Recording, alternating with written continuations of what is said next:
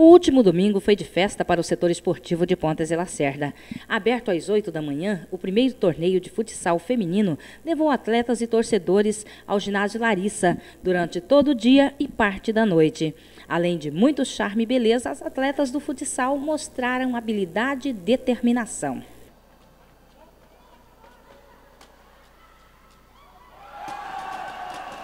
Nas arquibancadas torcedores que colaboraram diretamente para a realização do primeiro torneio de futsal feminino de Pontes e Lacerda. Muito bacana a iniciativa dessas meninas que estão trazendo essa integração de outros municípios aqui para Pontes e Lacerda. E sem dúvida alguma já tem uma indicação na Câmara de um vereador que já indicou para que faça parte do calendário é, a partir de 2014. Isso é muito bom para que se torne algo bastante legal. Eu tenho uma alegria enorme de estar a primeira vez assim patrocinando esse torneio. E eu sou, fico muito feliz de ver essas pessoas aqui desfrutando a sua hora de lazer nesse, nesse esporte, né? Também agradeço aí o apoio também da prefeitura, nosso prefeito Donizete, com o secretário tem desempenhando no esporte mesmo. O vereador Ebinho e os demais vereadores sempre apoiando o esporte no nosso município. E não é dessa vez aí, a gente está é, tá apoiando aí o, primeiro torneio de, de, futebol feminino aqui do nosso município.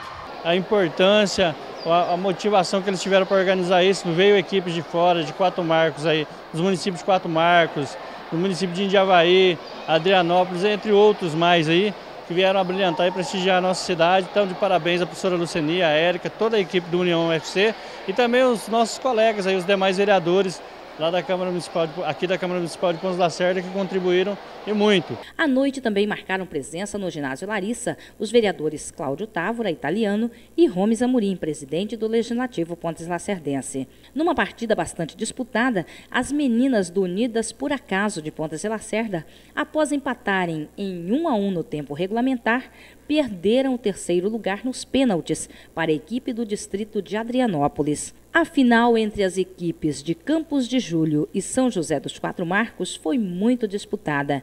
Melhor para São José dos Quatro Marcos, que sob a liderança da capitã Amanda Moretti venceu por 3 a 1. A gente sofre muito em questão de transporte, patrocínio para poder estar participando desses campeonatos na, na região do estado de Mato Grosso.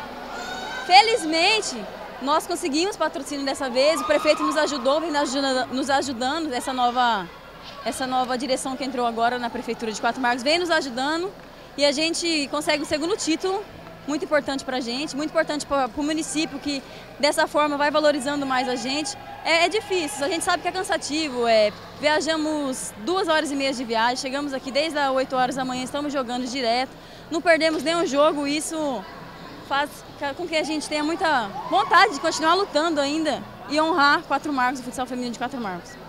Logo após a última partida, que se deu por volta das 22 horas, jogadoras das três equipes melhores colocadas receberam troféus, medalhas e premiação em dinheiro, sendo 100 reais para o terceiro lugar, que ficou com Adrianópolis, 500 para Campos de Julho e R$ 1.000 para a campeã de São José dos Quatro Marcos. Uma das organizadoras do primeiro torneio de futsal feminino de Pontas e Lacerda, Luceni de Oliveira, agradeceu o apoio da Prefeitura de Pontas e Lacerda e da Câmara Municipal. O apoio foi fundamental, o apoio da Prefeitura, da Secretaria de Esportes pela divulgação, CD na quadra, materiais esportivos, fora a Câmara de Vereadores e alguns comércios também que nos ajudaram bastante. Está dentro da expectativa de vocês? Sim, sim, a expectativa é muito grande. A nossa premiação é de mil reais. Tivemos a colaboração dos vereadores Gomes, da Secretaria de, de Esportes com os troféus e medalhas, o vereador italiano, que deu a segundo lugar, e entre outros vereadores, Ebinho, Kirarinha, Anderson, que nos ajudou muito. Eu agradeço muito essas pessoas que nos ajudaram, porque a emoção é grande de estar conseguindo realizar esse primeiro torneio que está sendo fundamental para a sociedade feminina, que é jogar futsal, né?